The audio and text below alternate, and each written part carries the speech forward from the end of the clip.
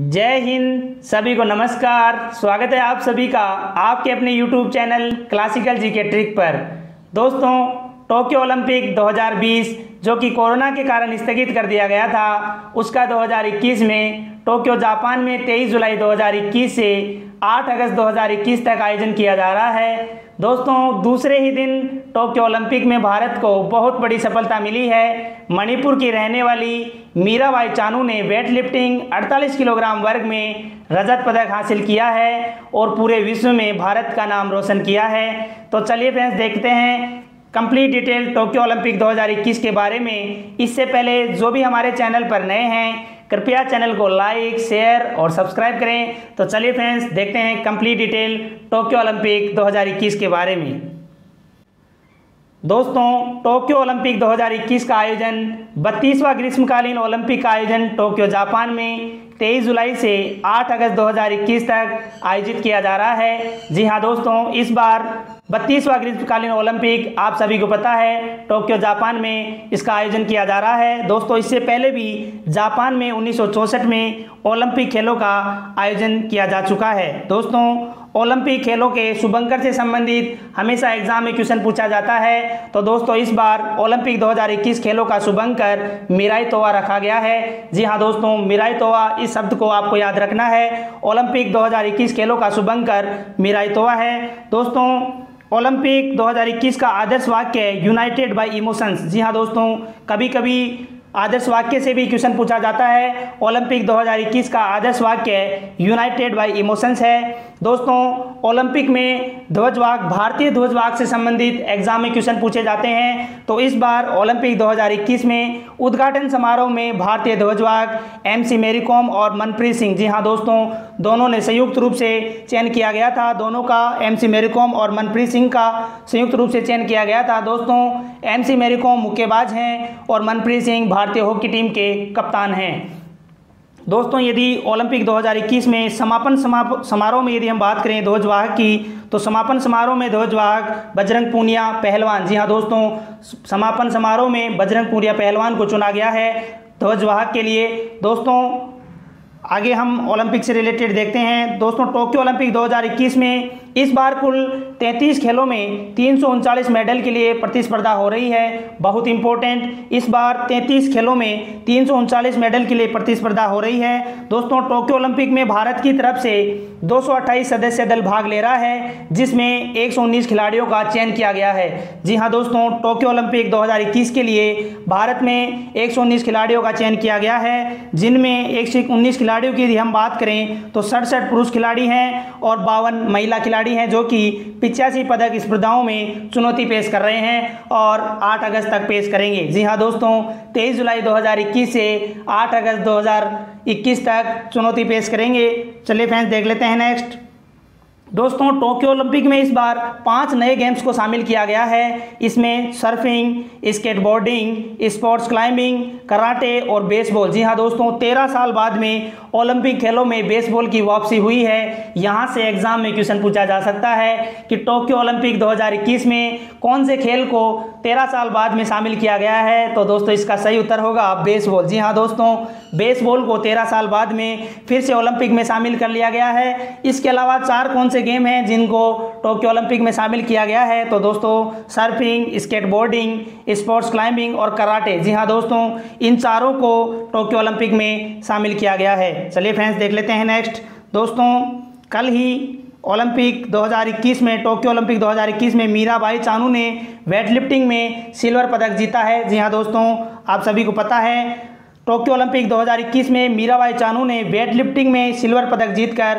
इतिहास रचा है। यह वेट लिफ्टिंग के 125 साल के ओलंपिक इतिहास में भारत का पहला सिल्वर मेडल है। जी हाँ दोस्तों 125 साल के ओलंपिक इतिहास में भारत का पहला सिल्वर मेडल है, मिला है। इससे पहले वर्ष 2000 में भारत की कर्णम मल्लेश्वरी ने ब्रॉन्ज मेडल जीता था। जी हाँ दोस्तों इससे पहले वर्ष 2000 में भारत की कन्ना मलेश्वरी ने ब्रॉन्ज मेडल जीता था और 125 साल के ओलंपिक इतिहास में भारत का पहला सिल्वर मेडल मीराबाई चानू ने जीता है। दोस्तों वेट लिफ्टिंग के पुरुष वर्ग में अभी तक कोई मेडल नहीं मिला है। जी हाँ दोस्तों, पुरुष वर्ग में अभी तक कोई मेडल नहीं मिला है। महिला वर्ग में वर्ष दो हज़ार में भारत की कन्ना मलेश्वरी ने ब्रॉन्ज मेडल जीता था और अब ओलंपिक 2021 टोक्यो ओलंपिक 2021 में मीराबाई ने, मीराबाई चानू ने सिल्वर मेडल जीता है। चलिए फ्रेंड्स, देख लेते हैं नेक्स्ट दोस्तों, टोक्यो ओलंपिक 2021 वेट लिफ्टिंग में चीन की जूही ने 210 किलो वज़न उठाकर गोल्ड मेडल जीता है। उसके बाद दूसरे स्थान पर मीराबाई चानू ने 202 किलो वज़न उठाकर रजत पदक जीता है और इंडोनेशिया की एसा विंडी केतिगा ने एक सौ चौरानवे किलो वज़न उठाकर कांस्य पदक जीता है। दोस्तों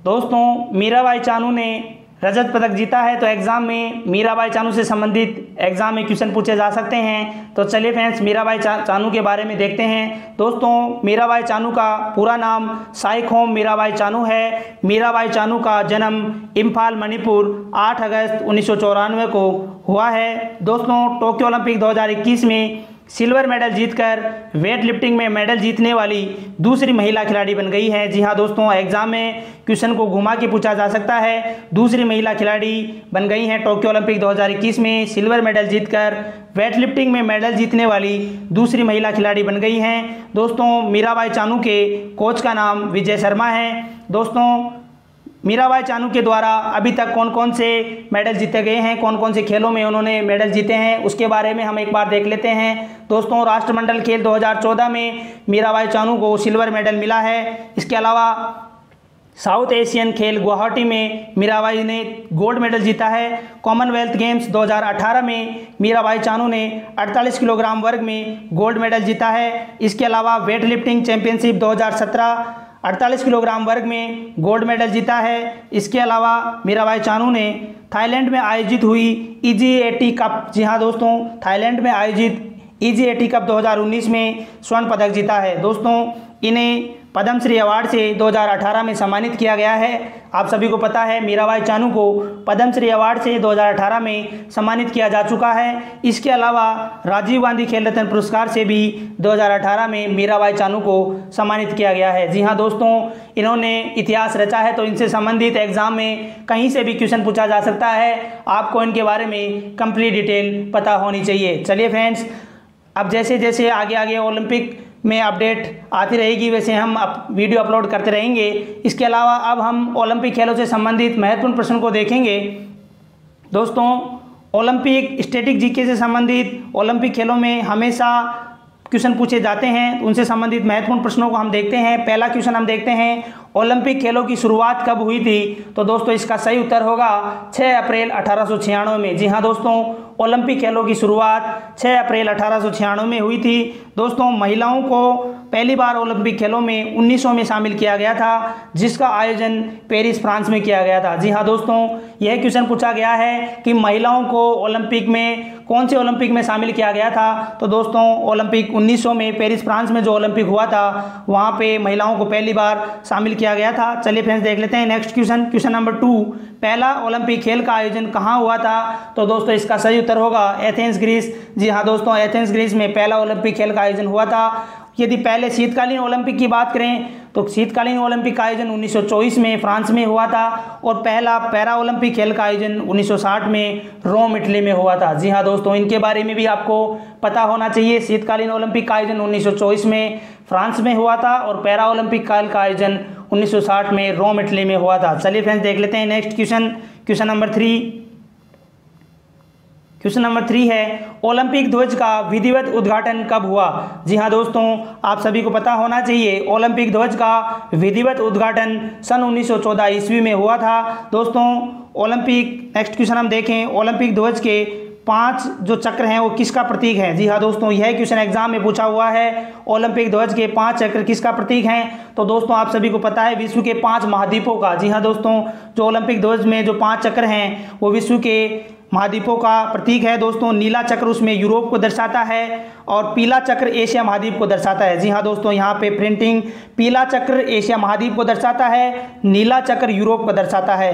काला चक्र की यदि हम बात करें तो अफ्रीका महाद्वीप को दर्शाता है, हरा चक्र ऑस्ट्रेलिया महाद्वीप को दर्शाता है और लाल चक्र उत्तर एवं दक्षिण अमेरिका महाद्वीप को दर्शाता है। जी हाँ दोस्तों, आप सभी को पता होना चाहिए, नीला चक्र यूरोप महाद्वीप को पीला चक्र एशिया महाद्वीप को, काला चक्र अफ्रीका महाद्वीप को, हरा चक्र ऑस्ट्रेलिया महाद्वीप को और लाल चक्र उत्तरी एवं दक्षिणी अमेरिका महाद्वीप को दर्शाता है। चलिए फ्रेंड चलते हैं next question question number five की तरफ़।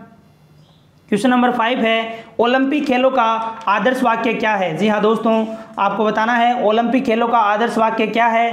तो दोस्तों, इसका सही उत्तर होगा C T S R all T S और के टी एस जी हाँ दोस्तों C T S R T S और के टी एस तो इसका हिंदी में यदि हम देखें तो उसका तेज, ऊँचा और बलवान। जी हाँ दोस्तों, ओलंपिक खेलों का आदर्श तेज, ऊँचा और बलवान है। चलिए फ्रेंड चलते हैं next question question number six की तरफ़। क्वेश्चन नंबर सिक्स है एक ही ओलंपिक में सर्वाधिक स्वर्ण पदक जीतने वाले खिलाड़ी कौन हैं? तो दोस्तों, आप सभी को पता है, इसका सही उत्तर होगा माइकल फेलिप्स। जी हाँ दोस्तों, माइकल फेलिप्स एक ही ओलंपिक में सर्वाधिक स्वर्ण पदक जीतने वाले खिलाड़ी हैं। चलिए फ्रेंड चलते हैं next question. Question number seven की तरफ़। क्वेश्चन नंबर सेवन है, भारत की ओर से ओलंपिक खेलों में भाग लेने वाले प्रथम खिलाड़ी कौन थे? जी हाँ दोस्तों, भारत की तरफ़ से ओलंपिक खेलों में भाग लेने वाले प्रथम खिलाड़ी नॉर्मन पिजार्ड, जो कि एक एंग्लो इंडियन थे, इन्होंने भारत की तरफ़ से सबसे पहले ओलंपिक खेलों में भाग लिया था। चलिए फ़ैन चलते हैं next question question number eight की तरफ़। क्वेश्चन नंबर एट है, ओलंपिक खेलों में भाग लेने वाले प्रथम भारतीय महिला खिलाड़ी कौन है? जी हाँ दोस्तों, प्रथम भारतीय महिला खिलाड़ी के बारे में पूछा गया है। ओलंपिक खेलों में भाग लेने वाले प्रथम भारतीय महिला खिलाड़ी कौन है? तो दोस्तों, इसका सही उत्तर होगा मेरी लीला राव। जी हाँ दोस्तों, मेरी लीला राव भारत की तरफ़ से प्रथम भारतीय महिला खिलाड़ी हैं, ओलंपिक खेलों में भाग लेने वाली। चलिए फ्रेंड्स चलते हैं next question question number nine question number nine है ओलंपिक में लगातार दो पदक जीतने वाले पहले भारतीय खिलाड़ी कौन हैं? तो दोस्तों, इसका सही उत्तर होगा सुशील कुमार। जी हाँ दोस्तों, ये सभी स्टेटिक जी के संबंधित क्वेश्चन हैं और एग्ज़ाम में रिपीटेड क्वेश्चन हैं। इनसे संबंधित क्वेश्चन एग्ज़ाम में पूछे जाते हैं। देखते हैं आज का last question question number ten प्रथम भारतीय खिलाड़ी जिन्होंने ओलंपिक में स्वर्ण पदक जीता वो कौन है? जी हाँ दोस्तों, प्रथम भारतीय खिलाड़ी, प्रथम भारतीय खिलाड़ी जिन्होंने ओलंपिक में स्वर्ण पदक जीता है। तो दोस्तों, आप सभी को पता है, इसका सही उत्तर होगा अभिनव बिंद्रा। जी हाँ दोस्तों, इसका सही उत्तर होगा अभिनव बिंद्रा। तो दोस्तों, इस तरीके से हमने टोक्यो ओलंपिक 2021 के अब तक के अपडेट और कुछ क्वेश्चन को डिस्कस किया है। दोस्तों, वीडियो को ज़्यादा से ज़्यादा शेयर, लाइक और चैनल को सब्सक्राइब करें। धन्यवाद।